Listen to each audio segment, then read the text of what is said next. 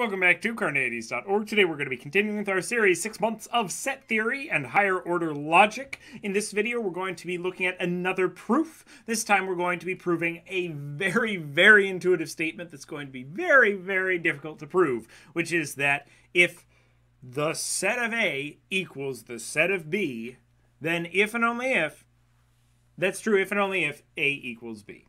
And the proof. Let's take a look. So, in this video, we're going to prove another very intuitive claim about sets that we have taken for granted so far, and we've talked about our brackets in this way without ever proving that this is the case. But it's going to be important moving forward, as will the last proof that we did. This is the claim that the set of A and the set of B are identical if and only if A is identical to B.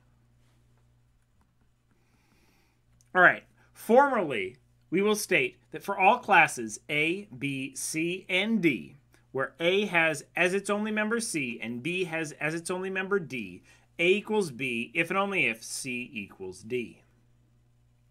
Hopefully that makes sense as a kind of formalization of that general statement.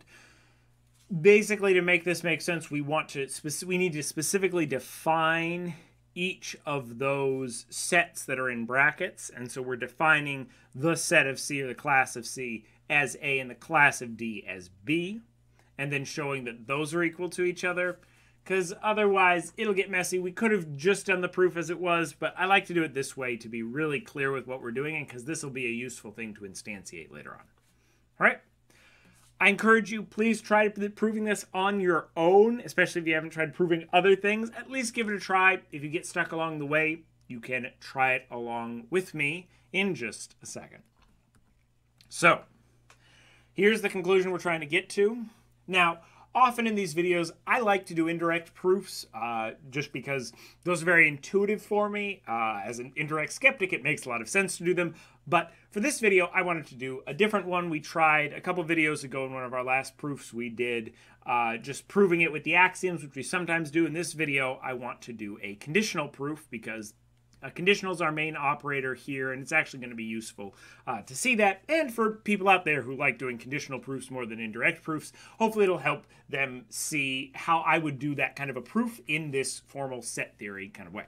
So, whew, with that out of the way, here's an assumed conditional proof. So we're assuming the first half of this. Note that because all of those variables are free, we're not going to be allowed to universally generalize any of them until we get out of this assumed conditional proof. So not until we're out of this line can we universally generalize any of them. We're allowed to assume them as free, but we're not allowed to generalize them until we're outside of the proof. Okay? So we're going to take this first half and we're going to try to prove the second half. So first off, we can simplify these nice and easy. A equals the set of C, B equals the set of D. And then we're going to do our definitions of our curly brackets, because this is really the only way we have to get rid of those curly brackets, to eliminate them and actually work with these concepts only in logical terms. So we'll use this. We only need the single version of it.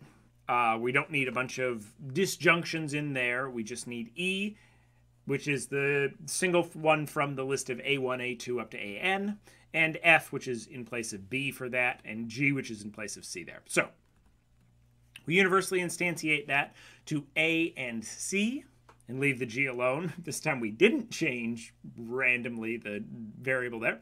Uh, and we'll do it again to instantiate to B and D. Note we're kind of running these two in parallel uh, to just honestly, so it's easier for me to remember what I'm doing. Um, and hopefully it helps you see how these steps often mirror each other. Then we're going to take premise five and not do universal instantiation. I don't know where that came from. We're going to use the identity. So we're going to do actually, that should say premise five and premise two identity oh, I hope there's not too many more mistakes in this, uh, to get for all G, G is a member of A, is materially equivalent to G equals C. The same mistake here, uh, probably copied and pasted.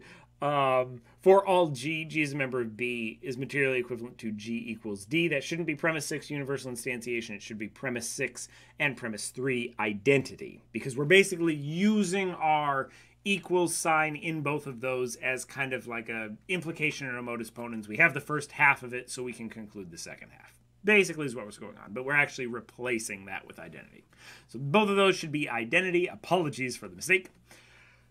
Uh, this is actually universal instantiation. So we instantiate G to being C. Why do we do that? Well, so we can very clearly get C as a member of A. And we instantiate G to being D for that one. So premise 8, universal instantiation, that's correct. Oh, but then we have all this nonsense to do with equivalence. So we're going to pull these long equivalent statements out. We're going to go ahead and simplify them to get C equals C implies C is a member of A. And D equals D implies D is a member of B. Well, it's pretty obvious C equals C and D equals D. We can conclude those just through the law of identity itself. And then use modus ponens on both of those to get C is a member of A and D is a member of B.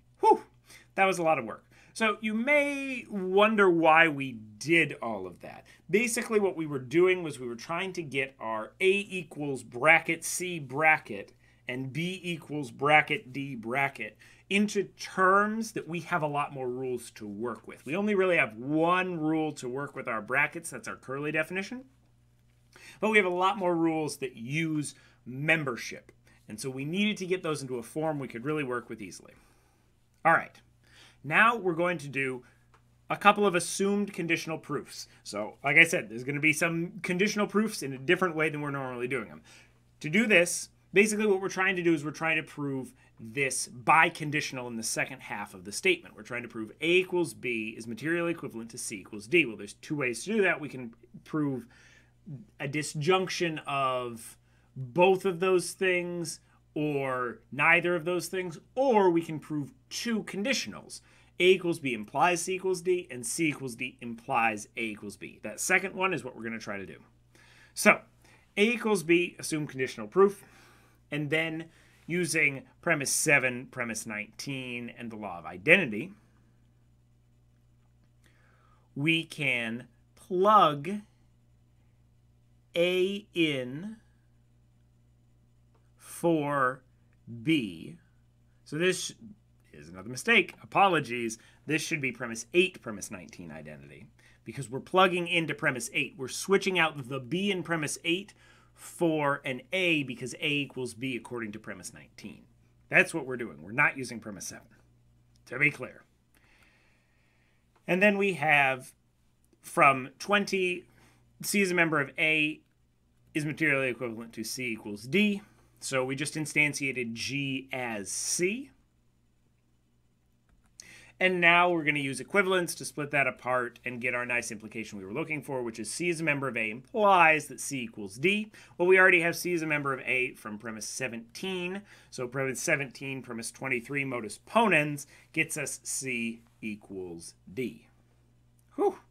So that seemed pretty easy. That was the first direction of our biconditional, but the other direction is going to be a lot harder. All right?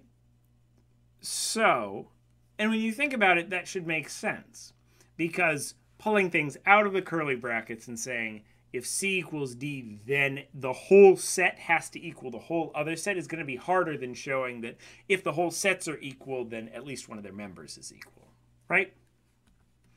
Hopefully that makes sense of why this should take longer. Okay, so we can say A equals B implies C equals D conditional proof. 19 through 24, pretty short. All right, but then oh, C equals D, assume conditional proof. Look how far that line goes. So we're going to assume that C equals D and try to prove then that A equals B. But uh-oh, we're going to need to do another assume conditional proof here we're going to need to do a couple actually, because to show that a full set equals another full set, we need to show that all of the members of each of those sets are equal. To do that, we need to use our axiom of extensionality and the parts of that axiom. This is one of those parts. We'll see the other one in a second.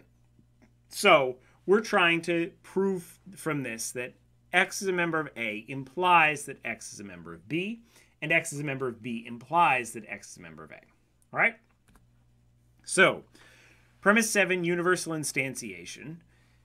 That is actually universal instantiation. Good. Uh, we're instantiating our g in that to the x that we have now. So we're just taking that and we're instantiating x in. You'll see why we're using an x later, but you could use a class variable for this. You don't have to use a set variable for it. Um, then we're going to split apart our equivalence like we always have to do when we have that triple bar into two conditionals. And then we'll simplify out the conditional that we need, which is x is a member of A implies that x equals C. We already had x is a member of A, so we get x equals C. Well, if x equals c, then x also equals d, because we had 26, c equals d. If x equals d, we can use identity again to show that x is a member of b from 1832 identity. So we've shown that if we assume x is a member of a, then x must be a member of b. So that was our conditional proof 27 through 33. Now we're going to show it the other direction. And this is why we did all of that work at the beginning. If you thought in the first half with the assumed conditional proof, oh, we didn't really need to do all of the work for both of them, we did for this half. All right, x is a member of B. We're going to do basically the same routine we did earlier. So instead of premise 7, we're using premise 8 this time, actually getting the right premise. Um, and then we'll split it apart with equivalence and simplify it down to the one half of those two biconditionals that we need which is that if x is a member of B, then x equals D. We get x equals D. We couldn't use the x equals D we had concluded from earlier because that was inside a different conditional proof. But we can still use the C equals D because that's in the larger conditional proof. You see how we're actually inside three conditional proofs. That's in the second level. It's like Inception. You're just in levels upon levels of levels. Anyway, uh, we can show that C x equals C and then X is a member of A. And then we hear the music play and we go up a level. No, rien, rien. Clearly, this is a really long proof and I'm going a little crazy. All right, X is a member of B implies that X is a member of A from premise 35 through 41 conditional proof. All right. Well, we have both directions of this implication now, so we can go ahead and conjoin them and then turn it into an equivalence a, x is a member of A is materially equivalent to x is a member of B. Well, now we can universally generalize this. Now I want you to look closely at this because using universal generalization on a variable within a conditional proof is very dangerous. You can't have had that variable be free in the first line of this part of the conditional proof. And note, it was free in a couple parts of the conditional proof. In the last one we did at line 35, x is free, and the one we did before that in line 27, x is free. But look, we're only in the second, the, the second and the first level. We're not in either of those third level conditional proofs. And the first line of our second level proof is premise 26, which says C equals D. So we couldn't generalize C or D, but we can generalize X. And the first line of our big long proof has A, C, B, and D all free, so we couldn't generalize any of those, but it doesn't have an X. So we're allowed to generalize our X here. Just always be careful when you're using universal generalization inside either an indirect or a conditional proof. And then we're going to use our axiom of extension and universally general instantiate that axiom into this. So basically, all of that work was to prove the first half of the axiom of extension. And then we'll just use modus ponens to get that A equals B. Whew! That was all we were trying to do since premise 26. And then we'll go ahead and do a conditional proof from 26 to 47. C equals D implies A equals B. I want to start playing the non rien, rien whenever we move outside of a proof now. Um, anyway, outside of one of those levels of a conditional or an indirect proof, especially in these conditionals where you just levels on levels on levels. Anyway, go read Gödel Escher Bach. All right. A equals B implies C equals D, and C equals D implies A equals B. Whew, conjunction. So we've conjoined from premise 25 all the way back in premise 25 and premise 48. We've put them together, and this is going to turn into our equivalence. That should not be premise 25, premise 48 conjunction. It should say premise 49 equivalence, because uh, that's what we're doing. We're just turning two conditionals into an equivalent statement. And then from premises 1 through 50, conditional proof. Dun, dun, dun. Anyway, um, and we've proven that we need to do some universal generalizations. We're doing four universal generalizations in one step, generalizing D and then C and then B and then A. And we're allowed to do that, once again, because we're outside of any conditional or indirect proof. So these variables were not free in the first line of this because there was no first line of this conditional or indirect proof. We've moved outside of the conditional proof. We're in the real world. We're no longer in the dream world anymore. Anyway, oh my goodness. Clearly have been making these videos too long. Okay, we have our conclusion for all A, for all B, for all C, and for all D. A equals the set of C and B equals the set of D implies that A equals B if and only if C equals D. Whew. Up next is the universe infinite. Somewhat spooky video for Halloween. Probably less spookier than most of our other Halloween videos, but you know, it's as spooky as set theory gets. Watch this video and more here at carneades.org and stay skeptical, everybody.